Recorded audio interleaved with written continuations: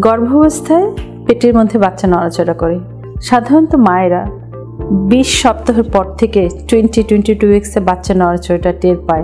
বাচ্চা সারাদিন মায়ের পেটে নড়ছে। এটা আমরা মেডিকেল টার্মে কুইকেনিং বলে থাকি।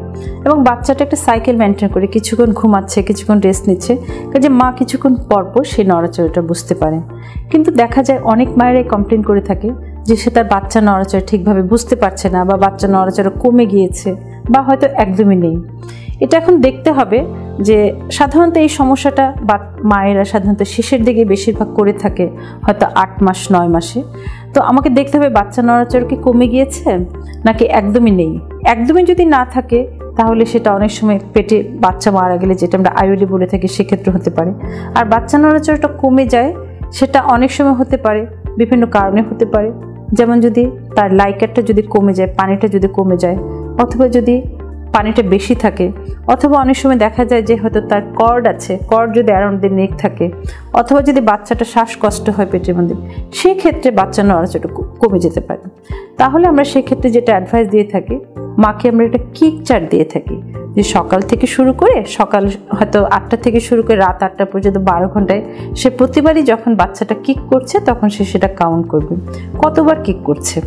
তাহলে যদি দেখা যায় যে সে বারো ঘন্টায় বারো থেকে বারো অ্যারাউন্ড বারো, দশ থেকে বারো বার যদি বাচ্চা কিক করে, তাহলে বোঝা যাবে যে না বাচ্চা মোটামুটি ঠিক আছে।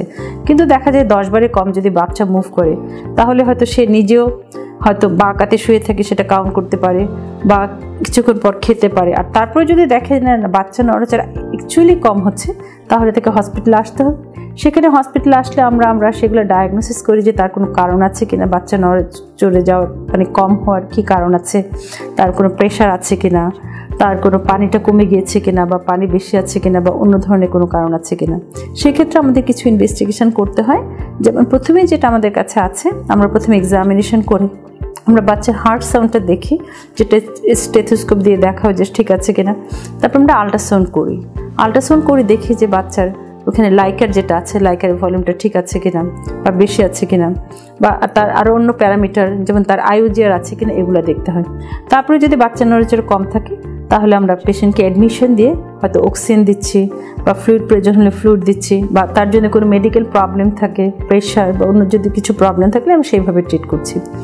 আর আরও কিছু ইনভেস্টিগেশন আছে যেগুলো আমরা বাচ্চার নড়াচড়া ওয়েলবিংটা জানার জন্য, যেগুলো ফিটাল ওয়েলবিং আমরা জানার জন্য করে থাকি। যেমন সিটিজি আছে বা ফিজিক্যাল প্রোফাইল আছে ডক্টর স্টাডি আছে। এগুলো হয়তো আমাদের টার্সারি হসপিটাল যেগুলো আছে, ওই সমস্ত জায়গায় অ্যাভেলেবেল তাহলে মায়েদের বুঝতে হবে যে একটা বাচ্চা সারাদিনে চব্বিশ ঘণ্টা সারাক্ষণই সে মুভ করছে না, কিছুক্ষণ সে ঘুমাবে, কিছুক্ষণ মুভ করবে।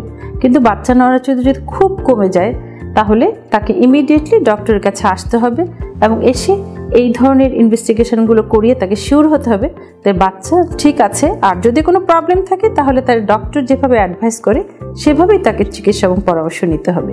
ধন্যবাদ।